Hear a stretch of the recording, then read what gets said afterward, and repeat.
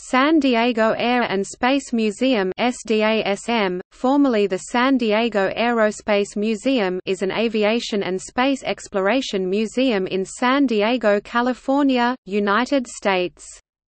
The museum is located in Balboa Park and is housed in the former Ford Building, which is listed on the U.S. National Register of Historic Places. SDASM was established by Articles of Incorporation on October 12, 1961 and opened to the public on February 15, 1963.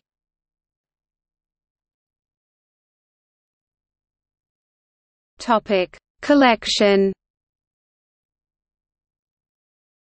It contains many original and reproductions of historic aircraft and spacecraft, including SDASM promotes itself as one of the largest aviation museums in the nation, containing the third largest collection of archives and library. SDASM has two restoration facilities, one on-site, and the other located at Gillespie Field. The Gillespie Field Annex is open to the public with numerous aircraft on display outdoors, a Convair SM-65 Atlas ICBM, museum model shop, and a restoration shop.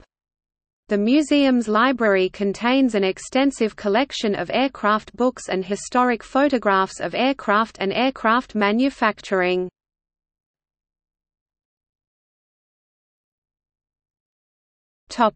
History The museum was first opened to the public on February 15, 1963 in the Food and Beverage Building, which had been built in 1915 for the Panama California Exposition. In 1965 the museum was moved to the larger electrical building. On February 22, 1978 the electrical building and the museum were destroyed in an arson fire. Several one-of-a-kind aircraft were destroyed, including the Beecraft Wee Bee, the world's lightest aircraft, and her sister craft the Queen Bee. A reproduction of the Spirit of St. Louis, built in 1967 by some of the same people who built the original, was also destroyed, along with more than 50 other aircraft, an extensive collection of artifacts and archives, and the International Aerospace Hall of Fame. Owen Clark, the museum's executive director, said of the $4 million in losses, "...this is unbelievably tragic.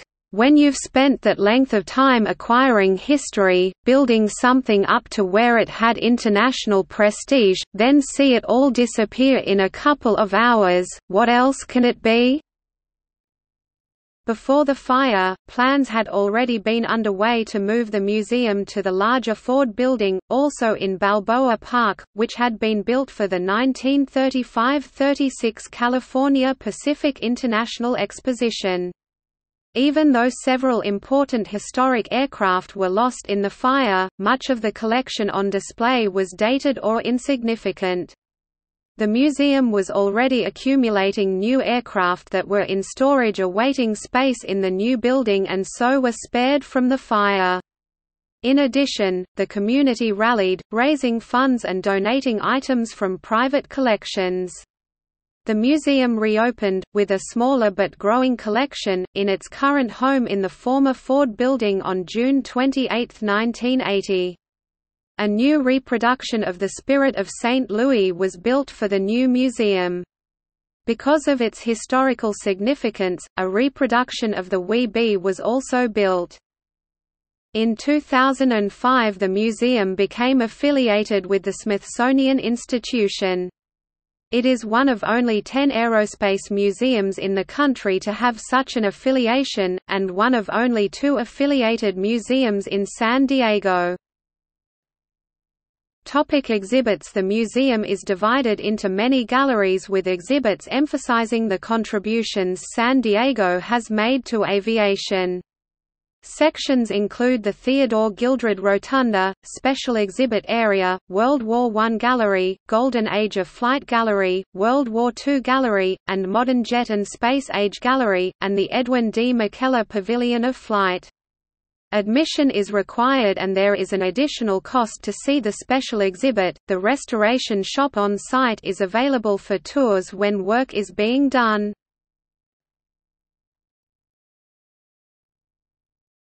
Topic: Theodore Gildred Rotunda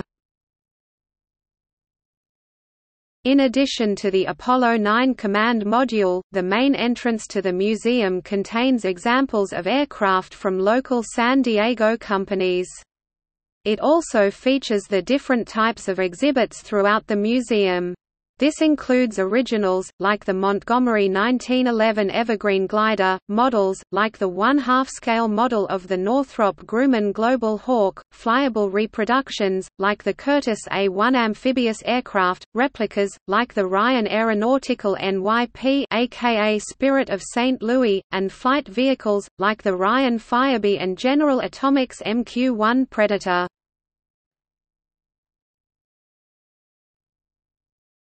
Topic: Special exhibits. In addition to the changing special exhibits at the front of the museum, there are a number of early aviation exhibits hanging from the ceiling. Visitors are encouraged to look up while making their way through the special exhibit. Guests who do not pay to see the special exhibit pass through the Hall of Fame hallway where portraits of aviation pioneers are displayed. Also along this hallway are exhibits about Jacqueline Jackie Cochran and the women Air Force Service pilots. Hanging above this area are exhibits of the Leonardo da Vinci ornithopter mock-up, Cayley glider reproduction, Lilienthal glider reproduction, Chanute glider reproduction, 1901 Wright glider reproduction, 1902 Wright glider reproduction, Deperdussin 1911 Type Militaire, Beachey Little Looper reproduction, and Wright X-Vin Fiz Flyer. The museum also has the California lunar sample displays.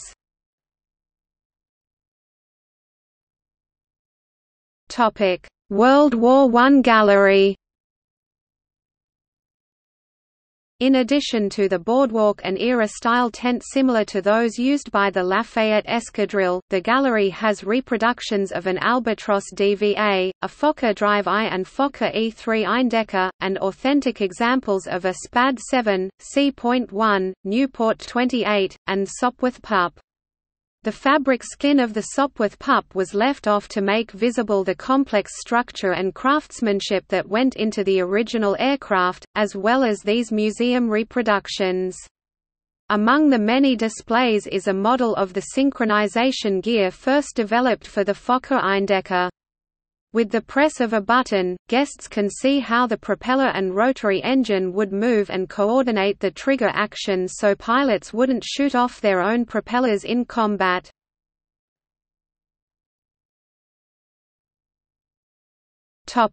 Golden Age of Flight Gallery Along the long back stretch of this gallery are many aircraft both on the deck and hanging from the ceiling.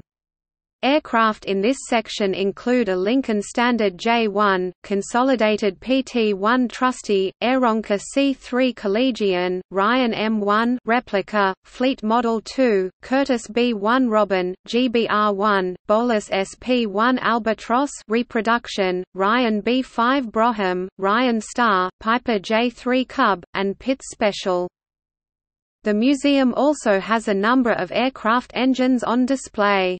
This gallery contains a Curtiss OX 5, Aeronca E-107, Liberty L-12A, Wright J-3 Whirlwind, Curtiss Conqueror V-1570, Jacobs L-4MB Cutaway, Menasco 4A, and Continental A-40. The Curtiss JN-4D Jenny was returned to the restoration shop to reskin the wings. Access to the Edwin D. McKellar Pavilion of Flight is from this portion of the museum. This is also where the Education Center is which hosts monthly Family Day activities. Guests will also locate the restrooms for the museum in this section of the building. On some days lunch is available on the outer patio outside of this portion of the museum. There is an exhibit of the Pacific Southwest Airlines PSA, also known as the Poor Sailors Airline, in the museum. A replica of the airline's first ticket office has displays about the airline with a smile and includes stewardess uniforms from the 1950s through 1980s, including the hot pants worn during the 1970s. PSA Flight 182, registration N533PS, a Boeing 727-214 commercial airliner collided with a private Cessna 172 over San Diego on September 25, 1978. A memorial plaque honoring those who died on Flight 182 and on the ground is located at the museum, near the Theodore Gildred Flight Rotunda. On the 20th anniversary of the tragedy, a tree was planted next to the North Park Branch Library, and a memorial plaque was dedicated to those who lost their lives. Topic World War II Gallery The latest addition to the museum is the Horten 229 Flying Wing which was put on display July 2009. This was donated to the museum's permanent collection by Northrop Grumman owners of Ryan Aeronautical following radar testing at the same test site which was used for the B-2 stealth bomber. Details of the work on the model and the history of the aircraft were featured on the National Geographic Channel's documentary, Hitler's Stealth Fighter. This is the only Horten wing on public display. Other aircraft in this portion of the museum include a Stearman N2S3 Kaydet, Curtiss P-40E Warhawk, North American P-51D Mustang, Douglas C-47 CD3 nose and cockpit section, Messerschmitt Bf-109G14 mock-up, Supermarine Spitfire Mk-16. This section of the museum is also where a mock-up of the USS Yorktown CV-10 was built. This Essex-class aircraft carrier has many of the Navy aircraft on display, including a Douglas-4 Solomon Islands Dollars Dauntless, Grumman F-6 F-3 Hellcat, and Grumman F-4 F-4 Wildcat. Racing just feet over the deck, guests will see a Mitsubishi A6 M70 Sen. Throughout the gallery are many of the aircraft engines which were used during this period.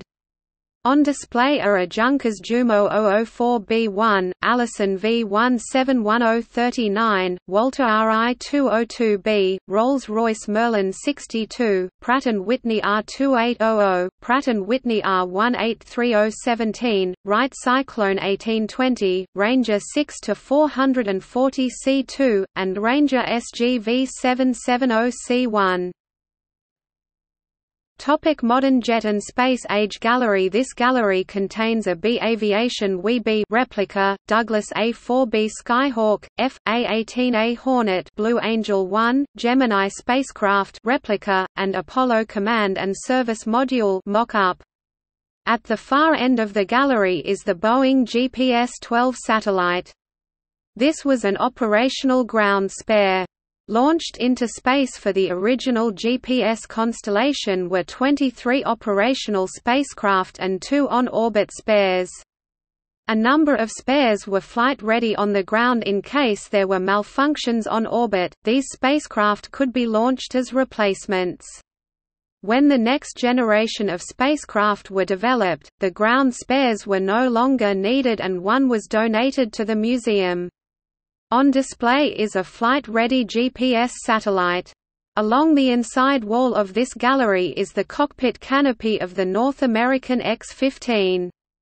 This supersonic rocket plane first flew on June 8, 1959 with Scott Crossfield at the controls.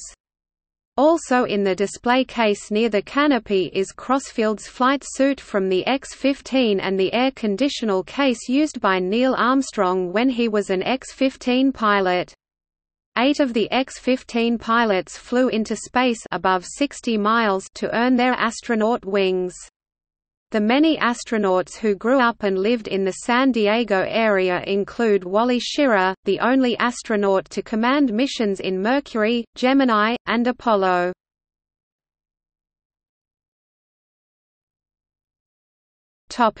Edwin D. McKellar Pavilion of Flight The original courtyard of the Ford Building was used like a showroom during the 1935 California Pacific International Exposition. Now it houses many of the larger aircraft in the museum's collection. These aircraft include the consolidated PBY-5A Catalina, Mikoyan Gurevich MiG-17, Mercury spacecraft mock-up, Bell H-1E Cobra, and Ford 5ATB trimotor. The McDonnell Douglas F-4J, S Phantom II on display in the pavilion was the aircraft flown by Duke Cunningham and William P. Driscoll in Vietnam from the USS Constellation CV-64. Cunningham was the first ace to get all of his kills with missiles. The aircraft here has both radar-guided Sparrow missiles along the belly and infrared heat-seeking Sidewinder missiles loaded on the wings. The museum also rents the pavilion to special events from lectures to dinners. Upon request volunteer museum docents can be available to provide additional information about the exhibits during these events.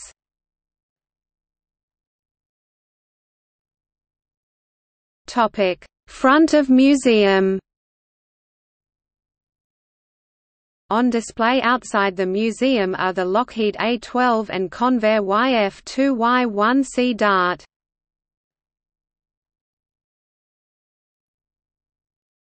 Topic: Special events. The museum hosts a number of lectures, student programs, and other special events. Groups can rent the Pavilion of Flight for their own event or dinner.